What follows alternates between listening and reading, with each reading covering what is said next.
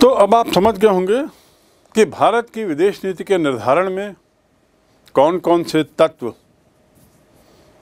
अहम भूमिका निभाते हैं और पंडित नेहरू इसमें कितने महत्वपूर्ण हो जाते हैं। आगे बढ़ने के पहले इस पर विस्तार से हम संक्षिप्त में थोड़ी परिभाषा जान लें। परिभाषा के रूप में विदेश नीति का अर्थ है, प्रत्येक देश की सरकार अपने हितों का ध्यान रखकर अपने हितों का ध्यान रखकर दूसरे देशों का संबंध स्थापित करती है। अपने हित, स्वहित का ध्यान रखते हुए दूसरे देशों से संबंध स्थापित करती है तथा अंतर्राष्ट्रीय प्रश्नों पर, अंतर्राष्ट्रीय मुद्दों पर अपना दृष्टिकोण कुछ सिद्धांतों के आधार पर रखती है। दो बातें इसमें शामिल हैं। पहला, स्वहित को लेकर दूसरों से संबंध। और दूसरा, अंतर्राष्ट्रीय मामलों में अपने दृष्टिकोण को रखना अपने सिद्धांतों के आधार पे। ये दो बातें मिलकर किसी देश की विदेश नीति बनाते हैं। इसे ही विदेश नीति कहते हैं। नॉर्मन एल हिल, उन्होंने कहा है, विदेश नीति एक राष्ट्र द्वारा दूसरे राष्ट्रों की तुलना में अपने हितों को विकसित करने के लिए किए गए उपायों का मूल सार है। एक राष्ट्र द्वारा दूसरे राष्ट्रों की तुलना में अपने हितों को विकसित करने का प्रयास, ये विदेश नीति है। अब जब एक राष्ट्र दूसरे राष्ट्र की तुलना में अपने हित को आगे बढ़ाता है तो निश्चित रूप से दूसरा राष्ट्र भी ऐसे ही करता है। कई बार यही हितों की टकराहट होती है। कई बार यहीं पर राजनीति, यहीं पर सूझबूझ और यहीं पर समझ से काम लेना पड़ता है। यही विदेश नीति का हिस्सा है। यही राजनीति, यही समझ, यही सूझबूझ एक अच्छी विदेश नीति की पहचान है, जिसमें टकराव ना हो और सभी का हित साध लिया जाए। हार्टमैन, उनका कहना है कि विदेश नीति सोच समझकर चुने हुए राष्ट्रीय हितों का विवरण है। यानी अपने हित को सर्वोपरि रखा जाता है विदेश नीति में। और सभी देश अपने अपने हितों को सर्वोपरि रखते हैं। जब ऐसा होता है तो स्वाभाविक है, आप दूसरों के देश, दूसरे देशों की कीमत पर आप आगे बढ़ना चाहते हैं। लेकिन साथ ही टकराव ना हो, ये भी सुनिश्चित करना है। यही विदेश नीति के अंतर्गत आने वाला एक शब्द है, जिसे हम कूटनीति कहते हैं। ठीक? तो अब हम चलते हैं भारत की विदेश नीति पर। भारत की विदेश नीति के मायने क्या हैं? जैसा मैंने बताया कि विदेश नीति हित को अपने हित को आगे बढ़ाने का साधन है। और अपना हित यानी अपना विकास, इस हित का अर्थ विकास से ही है। भारत की जो विदेश नीति है, उसका लक्ष्य राष्ट्रीय हितों की रक्षा और संबंधन के साथ साथ अंतर्राष्ट्रीय सहयोग और शांति को बढ़ावा देना। भारत की विदेश नीति का एक अंग है। अंतर्राष्ट्रीय सहयोग और शांति को बढ़ावा देना। स्वतंत्रता से पहले 1947 से पहले भारत की विदेश नीति अंग्रेज़ों के हाथ में थी, क्योंकि भारत की अपनी कोई विदेश नीति तो थी नहीं। वो तो अंग्रेज़ों की विदेश नीति की तरह थी। और भारत की विदेश नीति को एक तरीके से ब्रिटेन ही निर्धारित करता था। क्योंकि उस समय भारत ब्रिटेन का, ब्रिटिश साम्राज्य का एक हिस्सा होता था। तो ब्रिटेन के हित को सर्वोपरि रखते हुए भारत की विदेश नीति बनाई जाती थी। लेकिन 15 अगस्त सैतालीस, भारत स्वतंत्र होता है तो राष्ट्रीय हित की बात होती है। राष्ट्रीय हित को विदेश नीति का मूल आधार बनाया जाता है। ब्रिटेन के हित को नहीं। ब्रिटेन के साम्राज्यवादी हित को नहीं। लेकिन इसका अर्थ ये नहीं मानना चाहिए कि भारत की विदेश नीति अब स्वार्थपूर्ण हो जाएगी। ये न केन प्रकारेण वो अपने विकास के लिए ही देखेगा और या उसमें किसी तरह का सिद्धांत नहीं होगा, किसी तरह का आदर्श नहीं होगा, ऐसा नहीं था।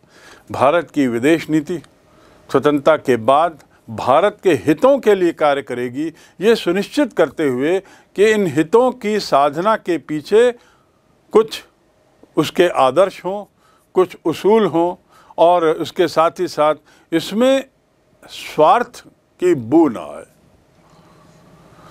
वसुधैव कुटुंबकम ये भारत का एक प्रसिद्ध उक्त वाक्य रहा है। अर्थात पूरे विश्व को हम एक कुटुंब मानते हैं। तो हमें ये सुनिश्चित करना है अपनी विदेश नीति के अनुपालन में कि हमारा हित तो सधे साथ ही साथ विश्व का हित भी हो।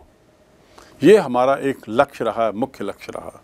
अर्थात भारत की विदेश नीति स्वार्थपूर्ण ना हो, भारत की विदेश नीति आदर्शहीन ना हो, और इसीलिए हमने अपने संविधान में भी इसको सुनिश्चित किया है।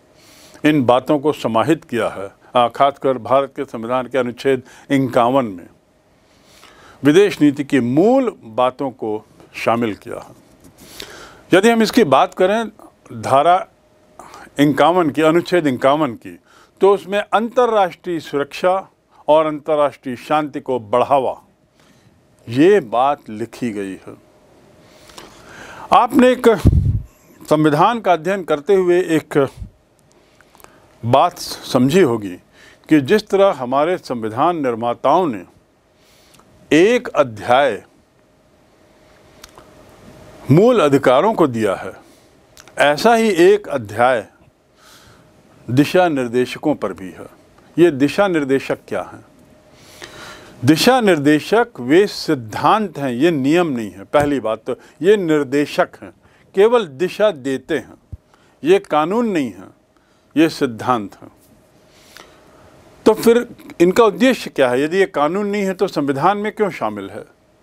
संविधान में दिशा निर्देशक इसलिए शामिल हैं कि इनका उद्देश्य है सरकार को दिशा देना। जब भी सरकार किसी भी तरह का किसी भी क्षेत्र में कानून बनाए या कोई भी कार्य करे तो सरकार से अपेक्षा है कि वह दिशा निर्देशक में दिए गए सिद्धांतों के अनुसार चले। वो ये कर, सरकार को सुनिश्चित करना है कि उसके द्वारा बनाए गए कोई भी कानून या उसके द्वारा लिए गए कोई भी कदम दिशा निर्देशकों की खिलाफत तो नहीं कर रहे हैं दिशा निर्देशकों की अनदेही तो नहीं कर रहे हैं। इसीलिए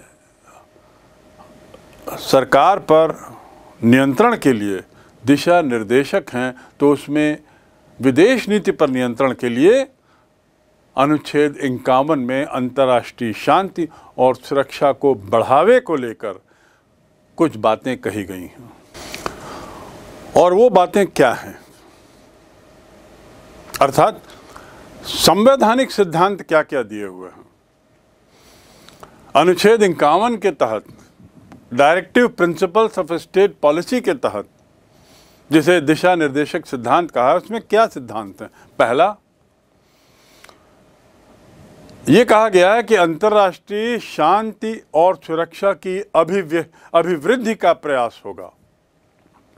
भारत की विदेश नीति ऐसी हो, या भारत इस दिशा में सदैव तत्पर रहे जिससे कि अंतर्राष्ट्रीय शांति और सुरक्षा में वृद्धि हो। दूसरा, राष्ट्रों के बीच न्याय संगत और सम्मानपूर्ण संबंध रहें। न्याय संगत और सम्मानपूर्ण संबंध। इस पर हम बाद में विस्तार से चर्चा करेंगे कि न्याय संगत संबंध कैसे होते हैं। सम्मानपूर्ण तो आप समझते हैं, जिसमें सभी देशों को बराबरी का दर्जा दिया जाए। चाहे वे आर्थिक रूप से निर्धन, कमज़ोर हों, चाहे वे भौगोलिक दृष्टि से छोटे हों, किसी भी कारण से उन्हें किसी भी राष्ट्र को छोटा ना माना जाए। तो ये उसका दूसरा सिद्धांत, जो दिशा निर्देशक में दिया गया है। तीसरा, संगठित लोगों के एक दूसरे से व्यवहारों में अंतर्राष्ट्रीय विधि और संधि बाध्याओं के प्रति आदर बनाए रखें। अंतर्राष्ट्रीय संधियाँ, अंतर्राष्ट्रीय जो व्यवहार हैं, कानून हैं, विधि हैं, उनका सम्मान करना, उनका आदर करना।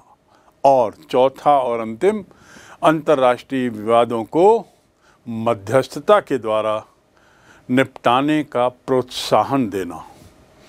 तो भारत की विदेश नीति इन चार दिशा निर्देशकों के अनुपालन के लिए भी वचनबद्ध है। और इनका अनुपालन करते हुए भारत के विदेश मंत्री, भारत के विदेशी विदेशी विभाग सदैव इस बात का प्रयास करता है कि ये सब बातें प्रोत्साहित हों, जिसमें अंतर्राष्ट्रीय शांति को बढ़ाने में मदद मिले अंतर्राष्ट्रीय विवादों को शांतिपूर्ण निपटाने में प्राथमिकता हो, प्रोत्साहन हो, एक दूसरे का सम्मान हो, आदि आदि। भारत की विदेश नीति की पृष्ठभूमि। भारत की विदेश नीति की क्या सीमाएँ हैं? सीमाओं से अर्थ है, किन सिद्धांतों को लेकर भारत की विदेश नीति को चलना है? उन्हें समझने के बाद किन लक्ष्यों को लेकर भारत की विदेश नीति जारी है, इसे समझने के बाद, उसके सिद्धांतों को जानने के बाद, अब हम आते हैं भारत विदेश नीति के प्रमुख आदर्श और उद्देश्य। इसका ज़िक्र वैसे संक्षिप्त में पूर्व में हो चुका है, लेकिन अब आप उद्देश्यों को और प्रमुख आदर्शों को समझने की स्थिति में बेहतर हैं।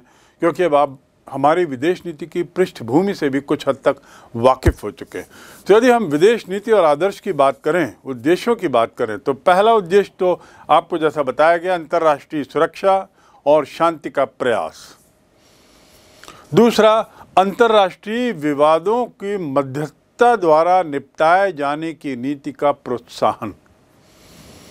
अंतर्राष्ट्रीय विवादों को मध्यस्थता द्वारा निपटाए जाने की नीति को प्रोत्साहित करना।